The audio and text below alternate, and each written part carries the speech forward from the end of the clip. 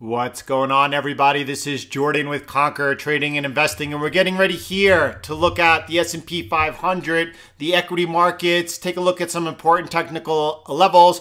Most importantly, take a look at what happened today with Jerome Powell and the FOMC and see how that is shaping the sessions to come. Let's start here looking at the S&P 500. I want you to notice this bull flag that we're currently in. You could see that we are closing down towards the bottom trend line support here right now, coming in right around the level of 3180. If that level is to break, it is possible we see some further sell side pressure, perhaps taking us down towards the 3140, 3136 area of support. That would be the first place to look for, possibly then to lean in on the long side. This right now, though, is a continuation pattern.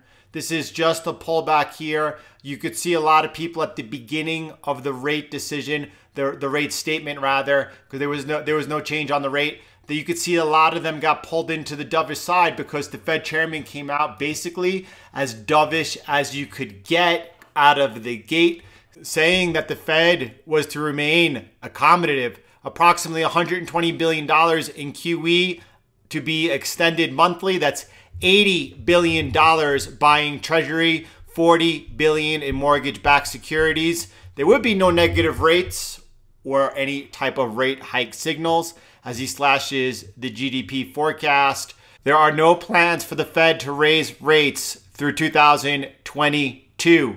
Now the bottom line, the bottom line was that the US economy still needs a lot of support and the downside risk remain elevated. Now it was quite almost comical that twice Fed Chairman Powell was asked about the stock market. He was asked about the, the lofty valuations. He was asked whether or not he felt that stocks were overbought. He was asked about whether he thought it was a bubble. And actually, Jerome just answered. The, he was also asked whether he felt like this was causing further inequality. Remember, there are class riots going on all across America. And Jerome's response to all of that was a simple no. Now, probably of most important for myself and the US dollar, the Fed did not mention the yield curve control in the statement, right? It was briefly brought up in the presser that really did not become a focus of the market. The dollar's reaction was really key. The dollar first sold off heavily, heavily, and then it's since rebounding off the lows since the close of the press conference.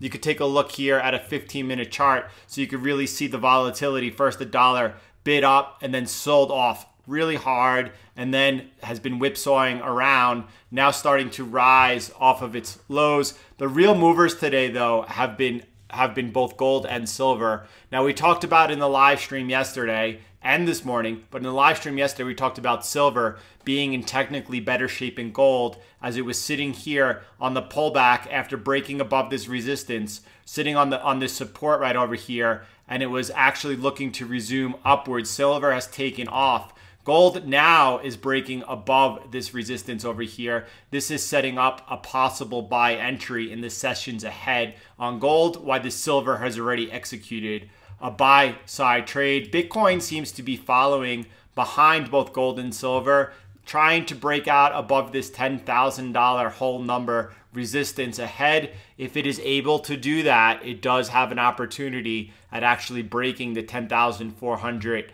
resistance, the trendline resistance, and beginning its bull market. Remember, the bottom line is the Fed said today that they are keeping it, they have no plans of even thinking about or starting a discussion about when they're going to be raising interest rates. That's definitely helping precious metals and Bitcoin right now, as that's in an environment they thrive in. Let's look over here at the S&P 500. Let me pull up the true trend. I am focused on this bull flag right now. I am waiting to see if this is going to be a continuation pattern to the upside. If we get a break above this trend line, that would trigger it. Again, we are closing the session towards the lows. Take a look at the NASDAQ though, by the way. The NASDAQ is almost at nosebleed heights. Look at the look at the trajectory here. Look at the trajectory. This is a really healthy 45 degree angle. And now all of a sudden we have gone blast off straight up. Now, you have to be careful because you don't know how high that move could go. But those moves generally end badly. I'm not trying to call a top or anything like that. Actually, I maintain my bullish bias here. It looks like if we break to the downside, if we if this if this bull flag does not materialize as a continuation pattern and we lose this level over here at 3180, then it looks like we're going to see some further downside. I'm not interested in taking that trade to the downside. There's just simply much better opportunities out there than there is right here on the S&P. However, a breakout to the upside, I'll say, all right, it was able to shake this off. And at that point, the momentum continues. We're going to be involved on that breakout to the upside, or we'll watch what happens as we come in now because we are in a strong uptrend into some really strong supports. Watch how price reacts and look for that as an opportunity to go ahead and be able to get long. Nasdaq, like I said, is the only is the only index closing up today. S&P uh, and Dow turned negative late into the session. You could look at this long wick over here. It's not really favoring the buyers.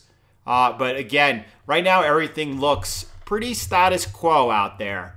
All right, we're not we're not trying to call a sell-off. I don't think this is the market top, but it is due for some type of retracement, cooling off, and that will give us the opportunity to see how deep it goes and when we could get in uh, to certain positions over here on the long side. Now, best case scenario, best case, we are seeing elevated cases reports in the United States, specifically in four states: they safe Texas, Arizona, California. Right, we're seeing uh, infections rise. Uh, that's a wild card. I have to say, Jerome Powell seemed much more upbeat than he has in last in last month's press conference or in the 60 Minutes interview where he seemed legitimately worried.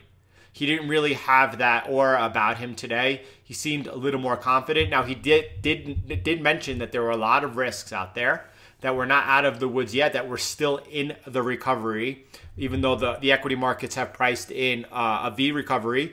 And he did go on to say that really he was almost begging for help from uh, from the government to enact stimulus, saying that it would be really helpful. You saw um, you saw Treasury Secretary Mnuchin also out on the wires today saying the same thing that he expects there will be another stimulus plan soon. In an election year, that could be tough getting getting both sides to agree on something for the American people, right? But nevertheless, these these stimulus, these bailouts aren't for the American people anyway. So I don't even know why I even said that. But uh, the Fed would like to see it the, the White House would like to see it. Whether or not there's any more stimulus, we'll see. The market would obviously love that, as it would the conversation turning towards any type of stimulus. Now, what I'm looking for here right now on the S&P, uh, I'm looking to see if we're able to hold this bottom support here of this bull flag.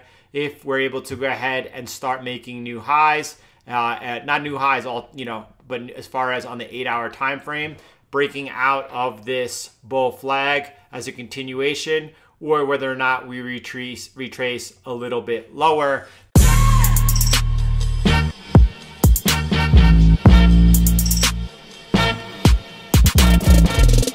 Peter Schiff had gone ahead and elaborated when Fed Powell was asked about what's happening with uh, the stock market. And, you know, as Peter put it, when asked if he's worried that the Fed policy is creating asset bubbles that might pop or misallocation of resources that may leave the economy worse off?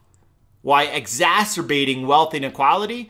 Powell evaded the question by not answering it. Basically, his answer to all of this is no.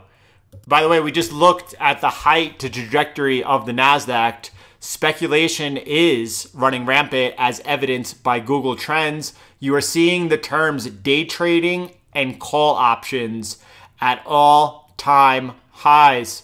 That is, my friend, the sign of a top. No, I'm not calling the top right now. It will be clear and easy for us to pick when we do it. This was really great to after replying to Dennis's comment and saying that yeah, this is exactly what it's about. First thing protected. That's your first concern, allowing yourself to see the opportunity from above and then attacking. He went on to say, We have a great teacher. Thank you, Dennis. I've paid zero attention to any news today, just watching the price action around the meeting and learning from the reactions. It's a nice feeling when you're in control. A lot of traders, when it comes to FOMC meetings, when it comes to non farm payrolls, they are chasing after momentum and price rather than being in control of what happens next. And that's where that leaves us. Right now, there is no position to be had. I thought we were going to see some further volatility. I'm watching the FX markets very closely, specifically what happens with the dollar. We talked about early in the live stream that we might see an impulse downward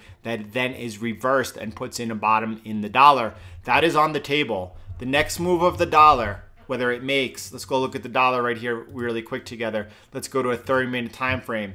If you see over here, this was the top since the FOMC and the bottom.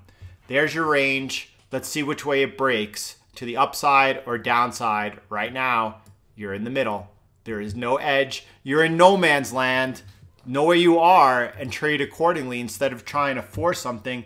The only things that warrant a position right now is silver and gold setting up for one.